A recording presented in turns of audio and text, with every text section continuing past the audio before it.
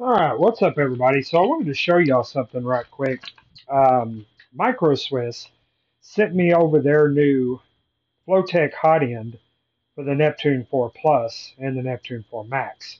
Um, some advantages with the um, Micro Swiss Flowtech hot end. As you can see, this is the factory hot end that comes in the uh, Neptune 4 and Neptune 4 uh, Max, Neptune 4 Plus and Neptune 4 Max.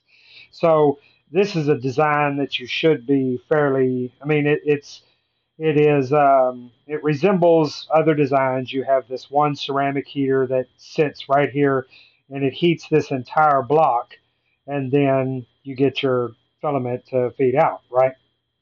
Okay, but here's the uh, here's the thing with the Micro Swiss Flowtech hot end, you see this, you get a barrel ceramic heater. So the advantage is there is you get a much more even filament uh, heat zone for melting filament. You also it also comes with um, this has a what they call a no leak design, so you have a much larger um, heat break in there than the traditional one that comes with the Flowtech. You see how you can, it's hard to see in there, but you can see how big the uh, Micro Swiss hot, uh, heat break is compared to the factory one. And as far as installation, also the other cool thing is that you can readily swap these nozzles. Um, the you can use any of uh, Micro Swiss's uh, nozzles for this, the CM2 nozzles. Um, I've got a batch of uh, CM2 nozzles that they sent me as well, all the way up to one millimeter. Um, so that'll be great for the um, for use on the Neptune 4 Max, especially if you're printing something, you know, fairly large and you want to move a lot of material really quickly. But this is very, very easy to install. So about the only things that come in this kit is one, you get a very very well laid, uh, very well laid out instructions step by step. But basically, you just take your your um, your hot end off. You take your extruder head off and all that. So you got your extruder motor up here, and then the hot end goes down here, and the factory hot end uh, looks like that when it's installed, and it fits right up in here. And then all you do is you take the Flowtech hot end it comes with a new PTFE tube. What you want to do is you want to put that up inside here. Okay, you just push it right up inside, just like that. And then you simply just slot this in, line that up, push it up there until it makes, and then you have two screws that go in right there. See those two screw holes right there? And then we take the factory screws that went in there and we put them back in. Make sure that that's pushed all the way up. Tighten that down. And then put this one in.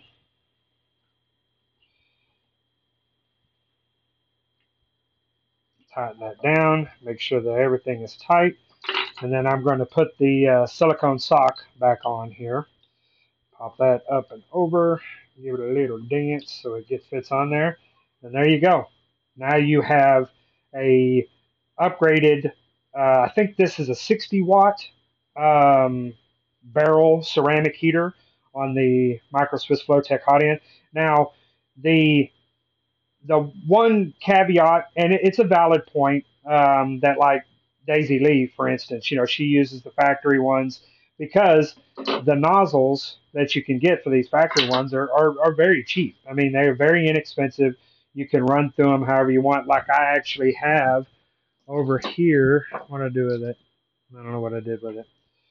Uh, da, da, da, I lost it. Okay, but I had a hardened nozzle that I was going to put in there. But um, these are very, very easy to install.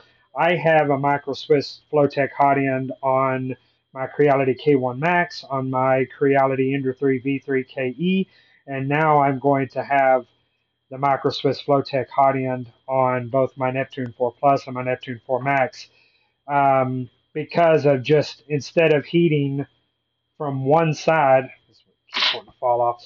Instead of heating from just this side with this ceramic heater, trying to heat this whole brass block, you will have a barrel ceramic heater heating around the entire melt area of the nozzle.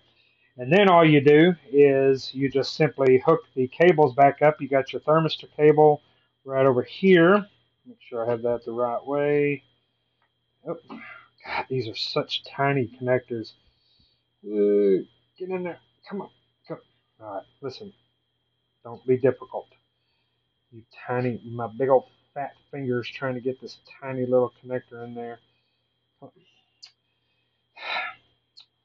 Okay, it would help if I didn't have it upside down, but I did. So we're going to pop that in. Okay, so now that one, the thermistor cable's in. And then we're going to take the heater core here and we're going to hook it in. I'm going to try to fold all these back. And then you literally just pop this in right here. These wires are thick. Come on. Ah. There. And then there we go. Now I'm going to tidy up these wires some. Get them in there a little bit better. Tidy them up there. And then there you go.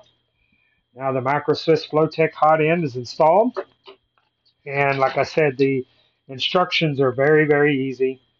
You know, it uh, tells you, it says tuck the brown heater wire into the gap on the left side of the heatsink. So actually, you just tuck this back in down here. Just tuck it back and away just like that. And it's all nice and neat. And that's all it is to install this upgrade. So I'm going to get this thrown back on uh, my Neptune 4 and uh, my Neptune 4 Max right there. And then installing it is really easy too. All you do is there's three screws, one, two, and three, and then there's two little screws on the front. That's uh, that's all it is to take the uh, the whole uh, hot end and extruder off and everything like that. So I want to thank Micro Swiss for uh, sending this out to me. I'm a big fan of their products. I've used plenty of them. So just wanted to show y'all that right quick.